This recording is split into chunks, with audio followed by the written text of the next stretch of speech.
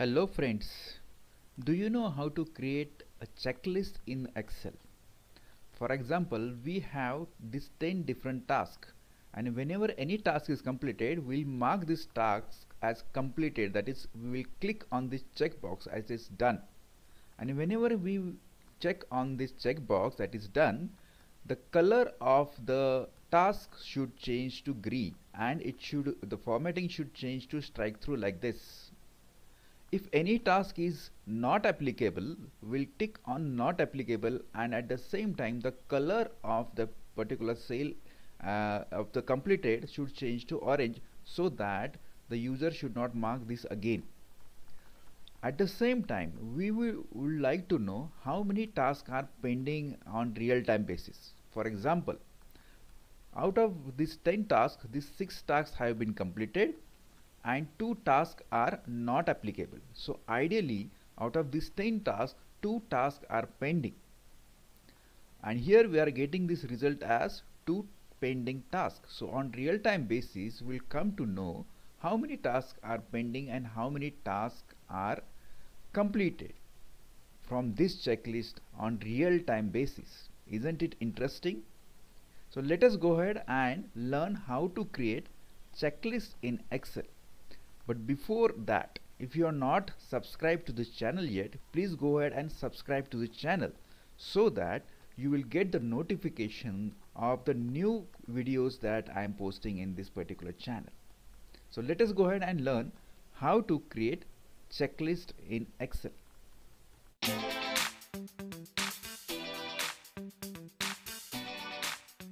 So this is the sample checklist that I have. Task completed and not applicable columns are there. 10 different tasks have been uh, listed over here. I want to create a checkbox in this particular cell. So I am in this particular cell.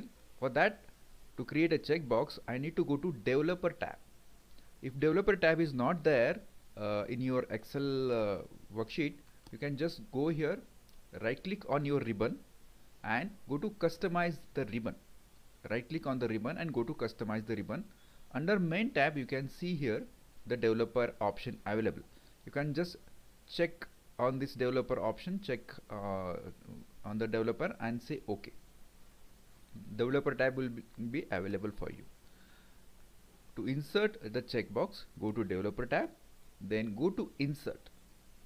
Under insert, you can see here the checkbox is available, checkbox option. You can click on the checkbox and draw the checkbox in this particular cell. So I have created a checkbox. I will just adjust format accordingly. And you can see here the check is written.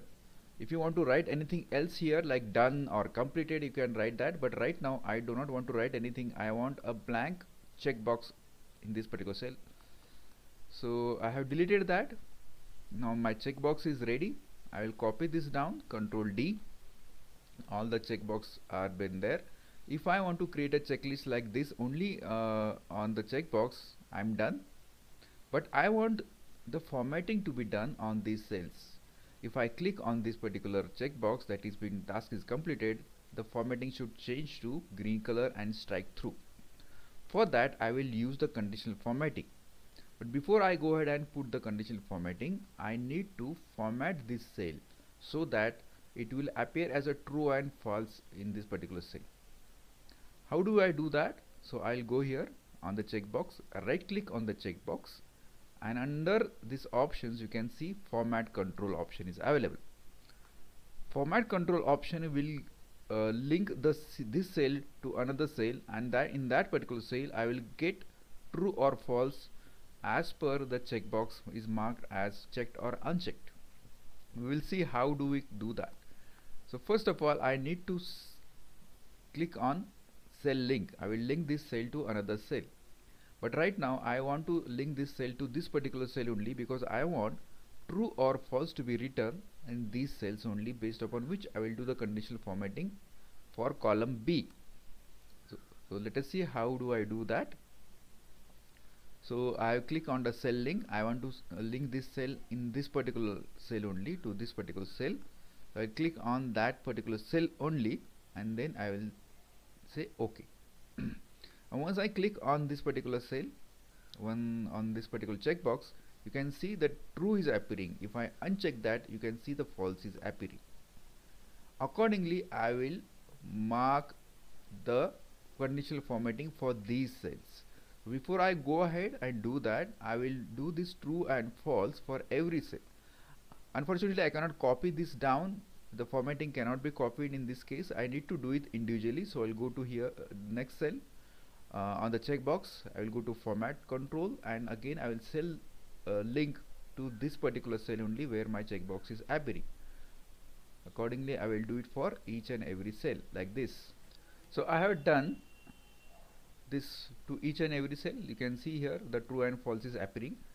But I do not want to see this true and false I want this true and false to be there which can be used for conditional formatting but I do not want to see that. So I will change the font color of these cells to white so that it disappears. I will select this range go to home and change the font color to white. You can see here it is been disappeared but it is there. You can see here true and false. It is there but it is not visible to me now based upon this condition I will change the formatting of these cells.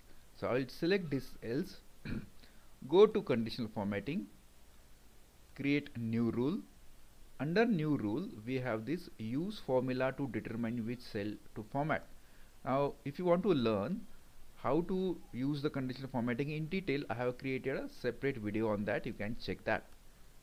So based upon the formula format values where the formula is true now here I will select this particular cell. So when this particular cell becomes true change the formatting of this cell that is B5 so C5 but I want to copy this down that I want to change the formatting based upon C5 C6 C7 like this. So I will remove this dollar sign. So don't forget to remove the dollar sign because uh, the cell needs to be changed when it goes down. And then I will change the formatting first of all I want the strike through so I'll click on the strike through for this.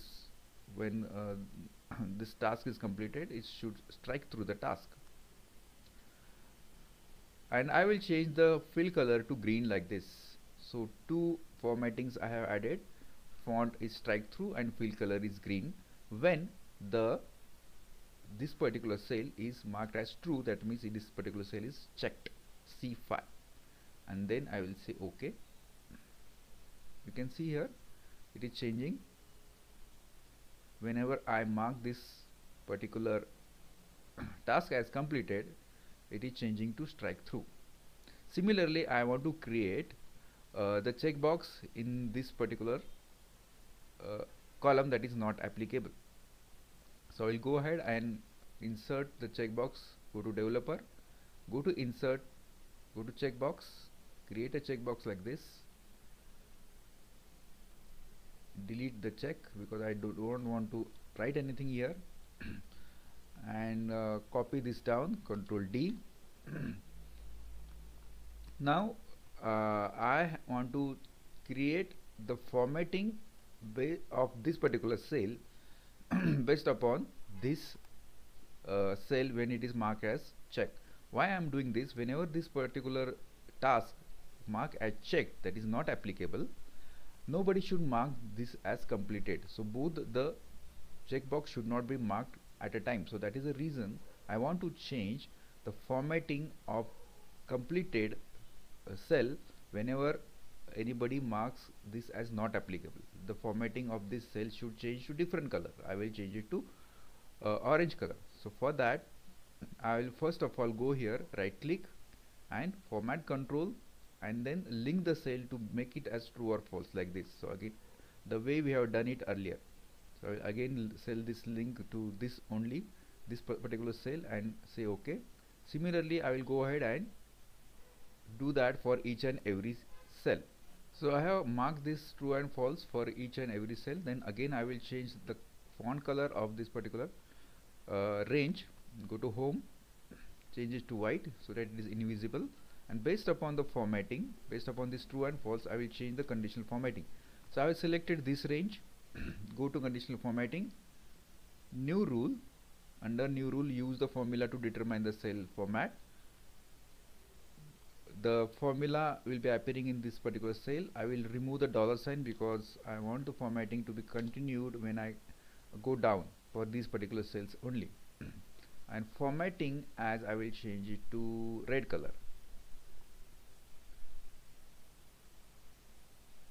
now I will say OK I'll just check whether it is working. You can see here. Whenever I click on any cell like not applicable the formatting of this cell is changing to red. But what is happening here is uh, the font whenever I click here the true or false is visible now. I do not want to see that as well. So why what should I do what should I do to uh, make it invisible whenever I click on this cell that is not applica applicable and the font color uh, the fill color of this particular cell changes to red I should not be able to see this true or false marked over here. For that I will use again a conditional formatting that if it is marked as a true or false I'll go here in conditional formatting. You can set a new rule or you can edit existing rule use the formula to determine it. So formula is here. In this particular cell when it is true okay I will remove the dollar sign because I want to copy this down. Format the now I will change the format to font color font color. Because I have uh, changed this uh, fill color to red so I will change the font color also to be red so that it is invisible when I click on this particular cell. So font color go here and then change the color to red. Here. and then I will say OK font color is changed to red. Then I will check that. If I check over here you can see only the fill color is changing and uh, I cannot see true or false right now because I have changed the uh, font color of true and false based upon the condition.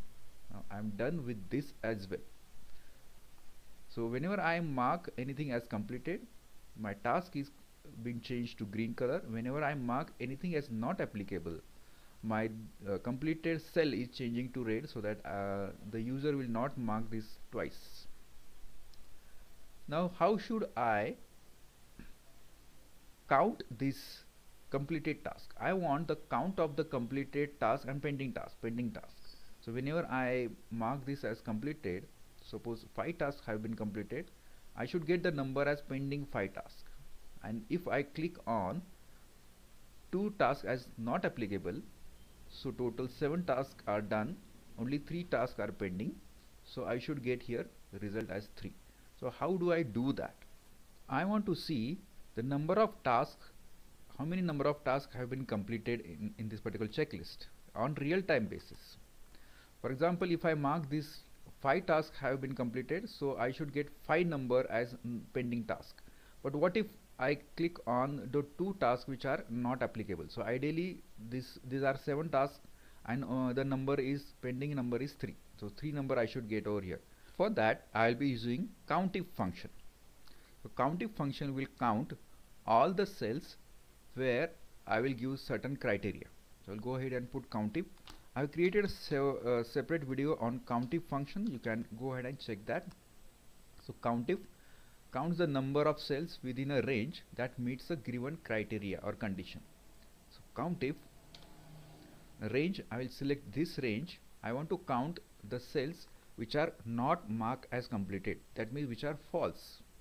False comma and I will write false in two double inverted commas and then complete the countif function. So this will count how many tasks are pending in this particular range. Now you can see here enter. You can see here the number is given as 5 because in this particular say, uh, range for completed I have 5 completed tasks and 5 not completed. But out of which you can see here 2 tasks are not applicable. So ideally the incomplete tasks are only 3 but I am getting here number 5 because it counting only completed task range. We have not considered not completed or not applicable task range. So we need to consider that as well. So how do we do that?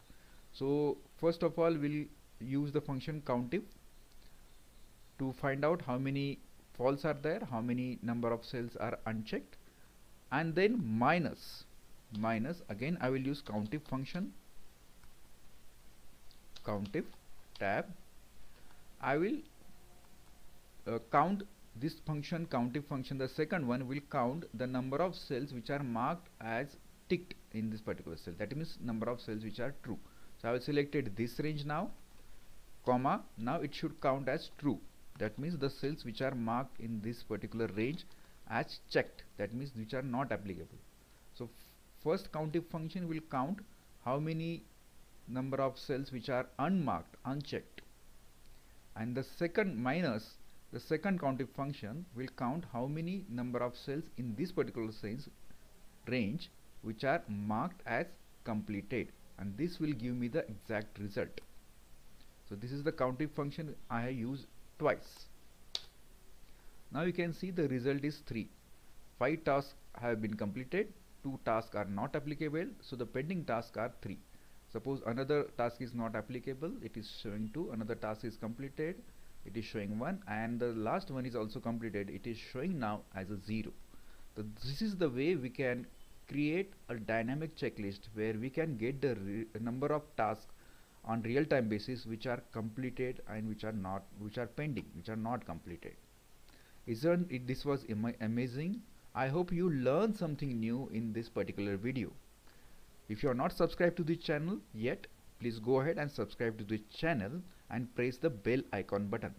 So see you in the next video. Thank you very much